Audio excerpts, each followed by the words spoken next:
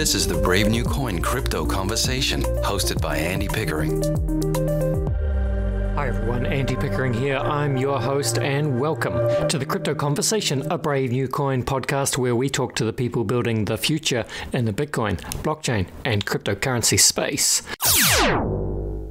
My guest today is Sam Huber. Sam is the CEO and founder, I believe, of LandVault, an end to end a metaverse solution uh, for Web 2 and Web 3 experiences. Welcome to the show, Sam. Thank you for having me, Andy. It is a pleasure. Well, uh, just before we get into Land Vault and learn all about it, Sam, let's do what we do at the beginning of the show. I would love it if you could please introduce yourself. Love to just hear a bit of your uh, professional story in the lead up uh, to founding LandVault. And I know it was previously AdMix, I believe, but yeah, what's your story? Yeah, so uh, I have an engineering background. I studied uh, physics for a couple years in uh, in Switzerland, which is uh, I'm I'm half French, half Swiss. Um, always been interested in you know figuring out how things work. I had a big passion for uh, Formula One, still have, and so my idea was to study physics and then specialize into engineering, and and then eventually go to work in in the Formula One industry and this is what I ended up doing. So I my first job actually out of um, uni was working as an engine engineer for uh, Mercedes. At the time, you know, this was 2012, 2013. It was um, just before the new V6 era where Mercedes won for seven years straight. So we were basically just preparing for that. I was working really closely with Hamilton and uh, Button, who were both at the time driving for McLaren, who was supported by Mercedes from an engine point of view. So that was my first, um, you know, job, which has nothing to do with gaming or the metaverse. No, um, but but let's just let, us just let's just pause there. So though, Sam, because uh, I'm I'm like a, a reasonably uh, enthusiastic Formula One fan myself, and um, so uh, just watched um, the final race of the season yesterday, which of course was uh, won by Max uh, over at Red Bull. And yeah, bit of a, a, harder year for Mercedes this year. But do you still um, mm. are you still a fan? Do you still still watch it, Sam? Yeah, yeah, still a fan for sure. Um, you know, going working there really made me um, very loyal to to Mercedes and of course just, you know knowing the team and everything.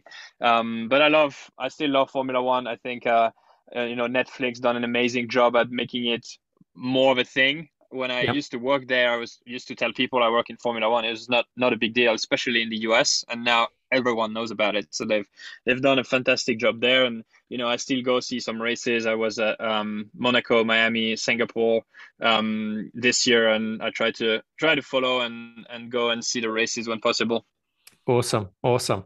Uh, well, hey, that's cool. I did not know that. So, um, yeah, fascinating that you were, yeah, an actual uh, F one engineer on the show. Nice, I love it. All right, well, um, there you go pick up pick up the story from there, Sam. I mean, anything after F one, yeah, is almost less exciting. But hey, we're we're here to talk about the metaverse, so let's go. Uh, I think I think it's exciting as well. No, yes. I mean, um, it was a it was a very interesting, you know, job. Um, but I've I've always had the idea that I wanted to do my own thing. I wanted to create my own my own venture. You know, be be in charge of my own destiny. And uh, as an engineer, you know, being one of 1000 working on something exciting but yet a, a, small part of that i just felt that um, it was you know something that um, just uh, something that i just couldn't pass. So at the time i didn't really have a big idea of what i wanted to do. Um, but i knew that um, I could see that you know the the gaming industry was growing. I could see that mobile was also uh, exploding. 2013, I think we, we called it back then the year of mobile, where more and more people were spending time on on their smartphones.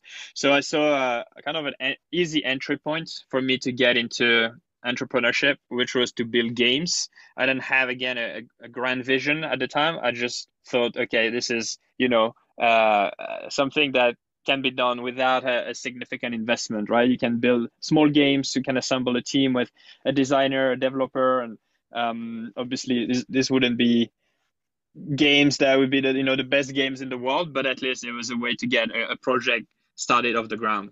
And uh, for about two years, we were basically building mini games, um, monetizing those games. We were selling the code of those games on third party code marketplaces and really learning about how content works, how to how to monetize, you know, games. And uh, one thing that was not stopping was the adoption and how many people were using our games, but also other games. I could really feel like we are the, the, the beginning of something. Um, and at the same time, you know, I, I remember being very frustrated with the tools that were avail- available to us creators to monetize the games. Mainly, we were forced to use terrible ad platforms the ones that you know force you to watch ads that take the entire screen and you can't skip the ad and you end up spending more time watching advertisement than actually playing the game. And i just felt like there must be a better way to make this work with a better user experience. And this is what led to the creation of admix uh, which is a in-game advertising platform. So the idea is still to take the good parts of advertising, the fact that it powers free to play content, but by completely changing the way that users interact with it. So instead of being bombarded with ads that are intrusive and in your way, the idea was to integrate these brands directly with the content of the game. For example, a car could be actually modeled after a real car and branded. Or a simpler example would be that billboards around a stadium could have real time advertisement that would be targeted to the country where you are in but as a player you still play the game and it happens to be that there are some brands you know on the horizon or next to you or on your shirt. But this is a very different relation with advertising. It's not advertising per se it's more of a brand experience. Yeah, and so we build the entire tech stack to make that happen. Got it got it. Yeah and i can see you know you you've worked with um yeah, big big brands, uh, McDonald's, Calvin Klein, and of course uh, Formula One to create these kind of premium uh, premium experiences. So that all makes sense then sam. So how how then does that kind of um, pivot or, or evolve into um, i suppose more of the the metaverse space? And I, I can see that you've been you describe yourself as buying a virtual land since 2017 so uh, explain what you mean there. Yeah yeah. So um, basically the, the company admix that i mentioned also started 2017 2018 and uh, became quite successful pretty quickly. We onboarded a lot of games. Uh, at the peak we had 700 games on our platform and we raised close to 40 million dollars in, in venture capital um, bringing you know bringing an, amazing team with us. Um, and in parallel uh, i was very interested from very early in you know bitcoin and then ethereum and then you know the ico boom of 2017 where all these platforms like decentraland and so on started to issue metaverse land. So i was in that space but very passively um, just making investments and you know making bets. But i couldn't see really a, a link between that and the company. And it's only last year 2021 when you know we had so many um, because of the nft bull market and and generally the you know the the the, the space doing well um, facebook rebranding into meta there's just a lot of things that happened that made um, the metaverse become this buzzword. And a lot of our clients, these big brands that you mentioned, started to ask us about the metaverse. Can you take us into the metaverse? Because we already took them into gaming, which was a very new thing to do for a brand at the time. And they saw the metaverse as the next phase beyond that, the next generation of gaming almost. So they trusted us with that. And we saw a big opportunity, you know, as a as a company that is building creator tools, I saw a big opportunity to do it in Web3 uh, much bigger than doing it in Web two. So we we decided to pivot.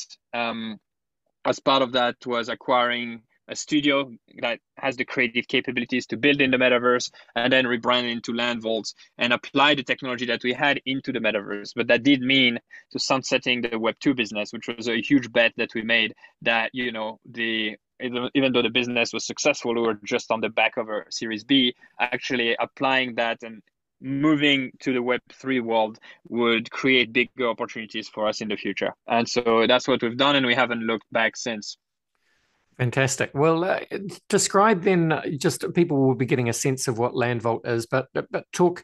Uh, just give us the, the high level summary of of what Land Vault is, and kind of a maybe a, a sense of uh, the scale. It seems like you've got quite a, a big team, and you've done quite a bit of work already, Sam. Yeah, yeah. So basically, we are a construction company, but in the metaverse. So we, we follow a real estate approach where we buy land, virtual land, but we buy land and then we develop the land. We build projects on top of it, which could be a, a building, a concert venue, or a project for a brand. We have a whole team of about 120 creators, architects, builders, game mechanics, uh, you know, narrative developers and so on that are able to turn these empty spaces into something fun and engaging, a mini game basically that is hosted on those platforms. Obviously, with the use of crypto and and uh, you know all the blockchain mechanics because those platforms are powered by Web three. Um, and then we, the technology that AdMix had, the legacy technology to do product placement and analytics and measurement, is now plugged into those um, environments as well. So we're able to measure success and monetize those experiences directly from uh, within the metaverse. So we are really an end-to-end solution, and our clients are big brands, the same as before. You know, the the Mastercard or the uh, L'Oreal or Red Bull that are looking at entering the metaverse, figuring out a new environment for them to connect with their customers and create new relationships. And we are basically helping them along the way of finding the right land for them, renting it to them, uh, and then developing that experience that they want to build from A to Z, and then help them monetize it. So that's been um, that's been the work. We've doubled in size this year globally from 100 to about close to 200 people, a little less than that. And uh, we've done also close to 200 projects, um, some of the largest brands, all the way down to you know smaller NFT projects that also needed a presence in the metaverse. And we build mainly across Sandbox, Decentraland. We're looking at other platforms as well. It's like Somnium Space and Spatial, um, with a big focus on on Web three. Yeah, very nice, Sam. And yeah, I can see you did a uh, a Decentraland Fashion Week.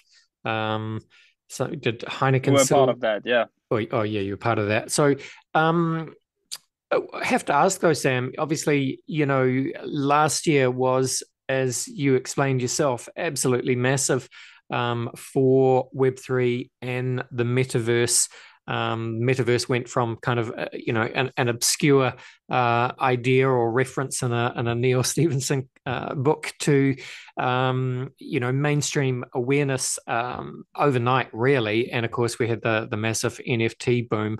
Uh, but of course, this year is very different. Uh, crypto market is down in the dumps. NFT trading volume has uh, fallen away, and I imagine there's you know slightly uh, less buzz uh, on, the, on the metaverse front at the moment, probably particularly from some of the you know the world's uh, biggest brands.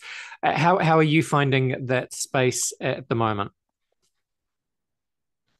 Yeah, actually, we've we've had continued growth. You know, we, we are seeing what you said. Um, it's true that in um, Q1, Q2, literally every brand wanted to get in the metaverse, and quite often for the wrong reasons. In the sense that they were looking after, you know, looking at you know just FOMO and we need to be there, but we don't really know why. But we need to be there because our competitors are there. So that led to a lot of you know small activations, poor activations um, putting the announcement ahead of the actual build, meaning that no one would ever use it.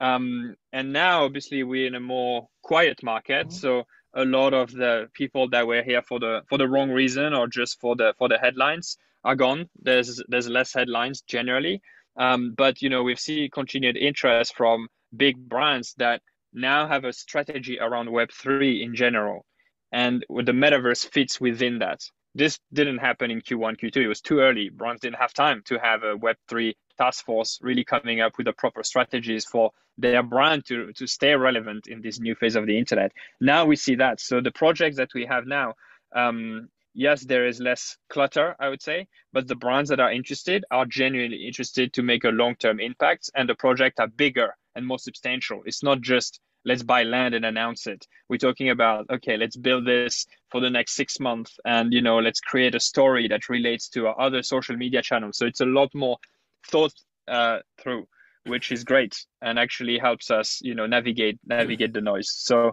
you know, overall, brands are looking at this as a new channel like a new social media channel almost a new place to reach their customers and the fact that crypto prices is down is, is very secondary because it's never anyone's prime motivation to enter the metaverse Sure. Well, uh, that all makes sense, Sam. I'd love you to just expand on that just slightly, like um, maybe use a kind of uh, imaginary case study of a, you know, uh, maybe a, a brand. It doesn't need to be like you know you a McDonald's or a Coca Cola maybe kind of um, a, a, brand one or two levels down from that. If what would what would their um, Web three or, or metaverse strategy look like uh, across the next you know two three years? Do you think what what should they do? I think it should all come down to why they want to do this in the first place, right? So the the main reason, of course, is you know, if you look at it on a five to 10 year window, it's about relevance, right? We are entering a, a new phase of the internet, a new platform, which is the platform that this new generation that are now, you know, entering their teenage years and will soon be a big customer segment uh, are entering. Those people are called Generation Alpha. They're born in 2010 or beyond, so they're still, you know, young right now but those kids were basically raised playing games instead of watching TV, right? They are using different media channels. They think about that differently. They're very friendly to crypto because, again, they were born with it. And so they are becoming this perfect citizens of the metaverse. They understand this natively, just like, you know, Generation Z understand TikTok and millennials understand the internet better than the generations before. So this is happening again. And, you know, this time, by 2025, that generation is going to be over 2 billion people. It's going to be the biggest customer segment on the planet. And so brands need to start being relevant today at the risk of being irrelevant to them tomorrow when they actually, th- that audience actually has the purchasing power to buy their products. So we see the metaverse as an insurance against irrelevance within the next couple of years.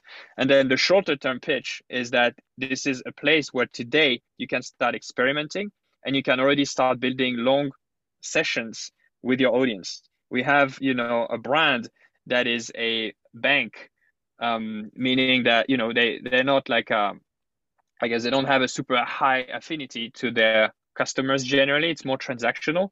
And the experience that we have built for them had a 29 minute session time you know it's it's it's an incredible amount of time to have a consumer basically trapped within your brand and where you can you know educate them about the brand maybe sell them products or delight them with a great experience. This is very rare to have someone's attention for 29 minutes in the digital world. Only the metaverse enables that. So there are you know there are tangible points today for marketeers, for brands to use the metaverse to create this unique interaction, a bit like experiential marketing, but scaled because it's happening in a digital world. So there's really a lot of ways, and obviously we're still exploring and figuring out, you know, what could be the value proposition of all these different things. But there are already things that are emerging, and engagement translating into purchase is one of the main reasons why brands should be in the metaverse today. Yes, yes, indeed. And uh, talk talk about the what you call land. So this would be the uh, the Land Vault uh, virtual land, and h- how does that work? So I, c- I see that you know, um, I suppose your your clients can either um, they can purchase land from you or they can rent uh, land. So what is this land? Yeah. Uh, how does that work? Right. So if you look at a platform like Sandbox or Decentraland or Somnium Space, which are the largest Web3 metaverse platforms. The way that they are, the platforms making money is by selling land. And land is basically a fraction of the map. So imagine the whole map. So all the, the, the um, I guess, geography that this platform has developed. Uh, imagine that they are breaking it down into small portions. And each portion is a piece of land. And you can acquire that piece of land. It's an NFT, so the land is unique, and you are the unique owner of that land.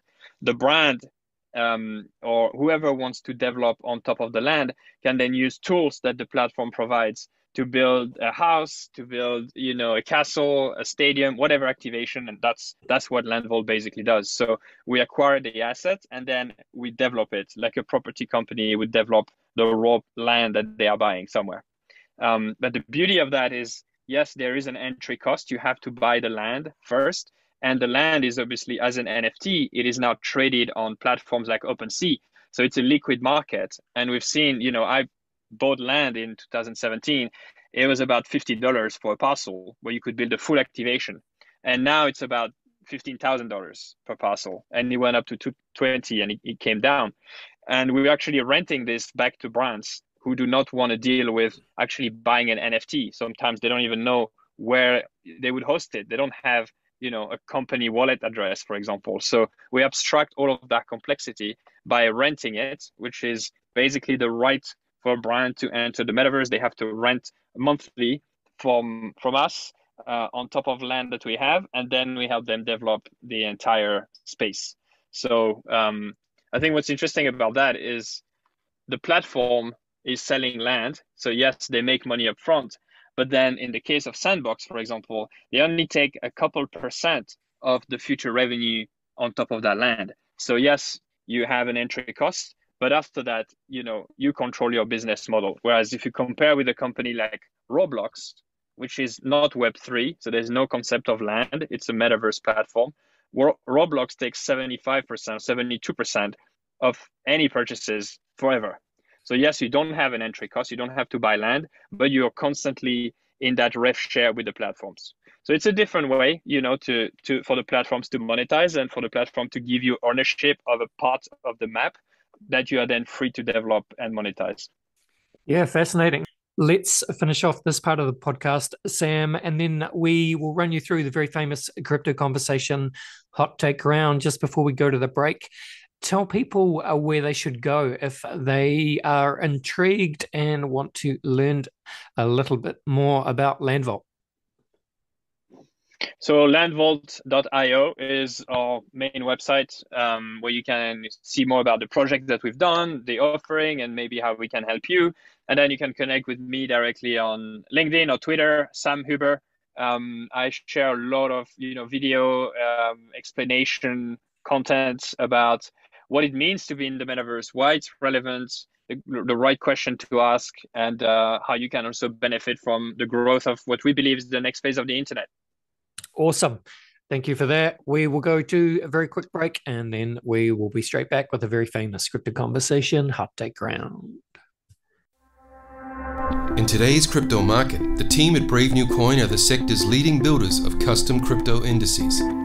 BNC's powerful indexing engine draws on Brave New Coin's premium data to calculate high frequency intraday and end of day indices for a wide range of index products. BNC's custom indices help you to gain exposure to the crypto assets class and track your performance against the market without having to become a stock picker.